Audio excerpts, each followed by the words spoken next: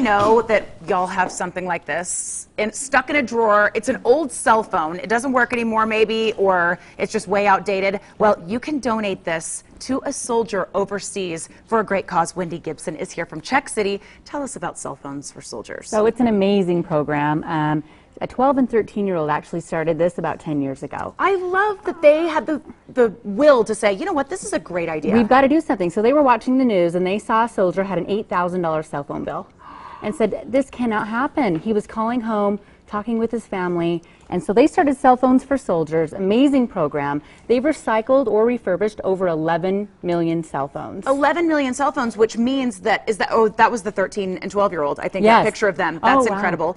Uh, and th- these would end up in a landfill. I mean, Yep. so this is great for the soldiers, but it's also good for our environment to do too. Exactly. So you can come into any one of our Check City locations. We do have 30 locations across the state. Find the box, drop your cell phone in it. See ya. Yep. And then you can enter to win Taylor Swift tickets. Which is incredible. Yep. So see her there, see her here. Um, we've got a concert for Taylor Swift in September, and then the grand prize winner is also going to be able to go to Seattle to see her.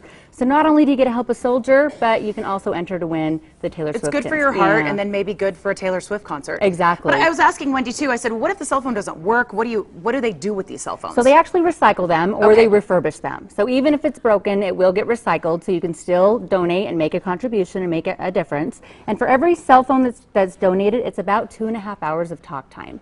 Isn't that great? Absolutely. And that's another thing you can do. You can donate money for talk time Yes, for these exactly. soldiers. So if you visit their website at cellphonesforsoldiers.com, um, you can donate cash, and then they will turn that into international calling cards. This is great. All right, this starts right now. You can go take those old cell phones, go to any Check City location, drop them in, and then this goes through all the month of June. Yeah, it, yep, all the way through June. And it's just the perfect time of year with Memorial Day being yesterday, paying tribute to those who have fallen.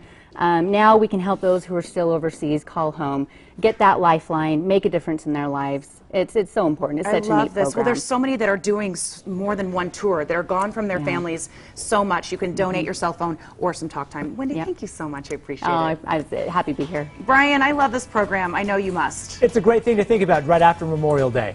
And still ahead on Good Things Utah, what zone, which, which festival in Utah